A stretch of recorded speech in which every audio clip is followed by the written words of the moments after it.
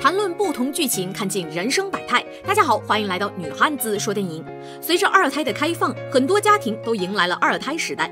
当然，有些大宝还是很欢迎弟弟妹妹们的到来。而我们九岁的男主乔治也迎来了他一直想要的弟弟鼠弟。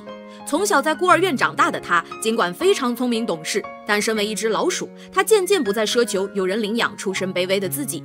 这天，他遇到了一对非常善良的夫妻，他们来孤儿院为儿子找一个兄弟。于是鼠弟头头是道的介绍孤儿院的其他孩子，感觉比园长还要上心。结果滔滔不绝说了半天，一个不小心把自己给推销出去了，从此成为了老李夫妇家中的一员。鼠弟非常珍惜这次机会，但作为一只老鼠，刚进家门就遇见了危险。原来家里还有一只大白猫，第一次见面差点把它吃掉，多亏爸爸妈妈出面呵止，才让它逃脱沦为猫爸爸的命运。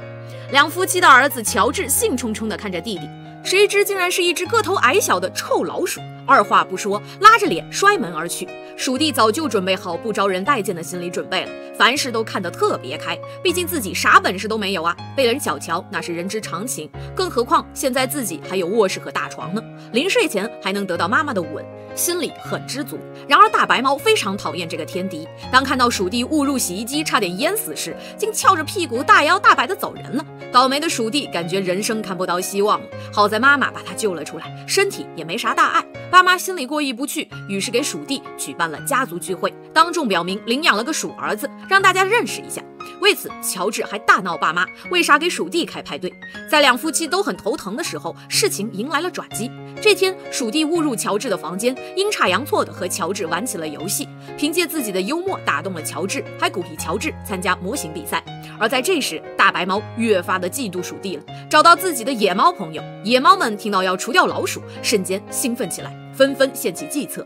大白猫在策划阴谋的时候，鼠弟和乔治一起参加帆船模型比赛。怎料遥控器被人踩坏，当家人失落的时候，鼠弟为了让家人开心，决定自己上场为乔治操控帆船。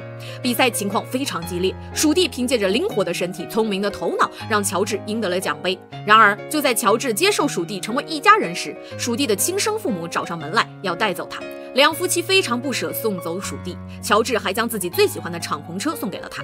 不久后，孤儿院院长过来家访，却意外得知鼠弟的父母几年前就去世了，带走他的是冒牌货。两夫妻意识到鼠弟有危险，马上报了警，开始寻找鼠弟。家里的大白猫开始坐立不安，原来鼠弟的亲生父母是他找老鼠来假扮的。同时，鼠弟也知道了真相，启程寻找养父母。一波三折回到家时，却没看到家人。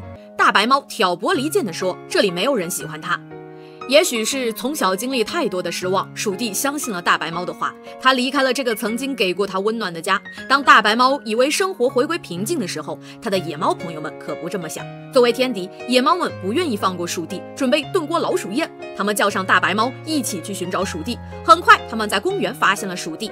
大白猫也是个嘴硬心软的家伙，虽然嫉妒他如此受宠，但作为家里的一份子，他不想看着鼠弟就此送命，于是和鼠弟联手把野猫们赶跑了，然后还。带着鼠弟回了家，从此这个五口之家其乐融融地生活在了一起。萌萌的小老鼠在童话的呈现中令人无比怜爱，乐观与活泼，极具感染力，无法叫人不爱。温暖的个性是融入新家庭的关键，并且依靠自己的善良，交了一群新的朋友，拥有了自己的家。这样萌萌的小老鼠，我也好想养一只呀！感谢收看本期的视频，喜欢的不要忘记关注转发哦。